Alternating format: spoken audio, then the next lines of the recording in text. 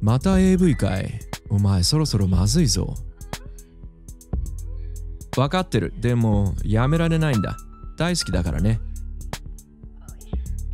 知ってる？もし僕たちの宗教に参加すれば天国で裸の女性を選び放題。ずっと幸せに過ごせる。本当に？君はヒンズー教徒だよね。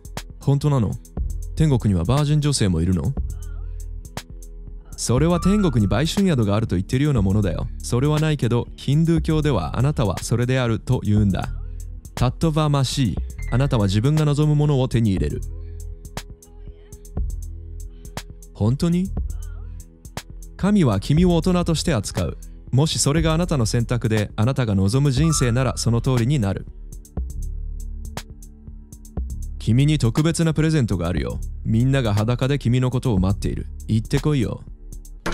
見て。彼とてもハンサム。そしてすっごく大きい。なんて大きな子なの？私たちの祈りが届いたのね。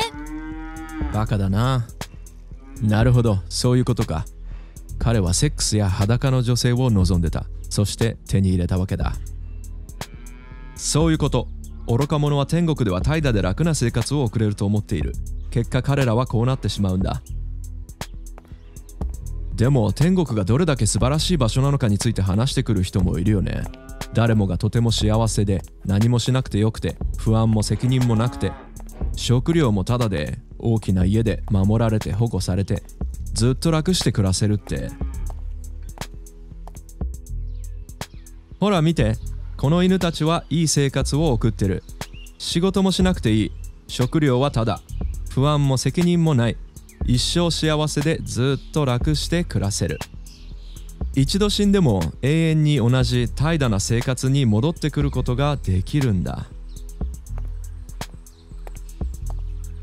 すごい楽さ天国での簡単で怠惰な生活への欲が彼らを牛や犬にしてしまったのか。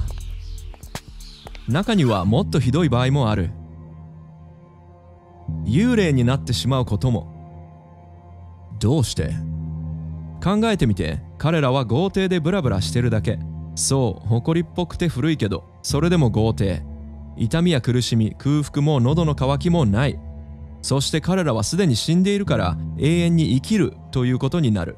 全て彼らの宗教によって約束されたもの。それは永遠に存在するということ？幽霊の人生ってどんな人生？彼らの欲が彼らに何をしたの？そう神が生涯を通じて教えてくれること。それは僕たちがここにとどまれるのはほんの少しの間でしかなくてそれは全ての生き物に当てはまること。そして僕たちは成長して自分の足で立つことを学び生きていく必要があるんだ。自分自身で世界と向き合う。何かが欲しければ苦労して稼いだお金でそれを買う。もし買う余裕がないならそれはなしで進む。与えられるからもらうではなく懇願することもしない。天国は神様が僕たちに与えてくれた全ての価値観と矛盾しているんだ。簡単で怠惰な生活全てが無料で不安もなく現実の生活と向き合う必要もない。永遠に無力な赤ちゃんや子供のまま。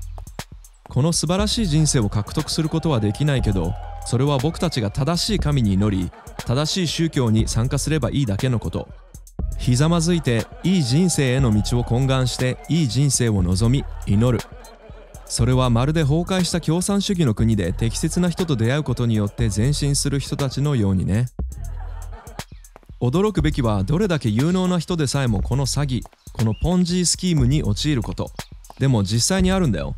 簡単で怠惰な生活への欲は崩壊した宗教によって行われているポンジースキームに彼らを陥らせる。もちろんここでの中心的な考え方はほとんどの売春婦やジゴロがリッチな人間から吸い取って生活しているような簡単で快適な生活。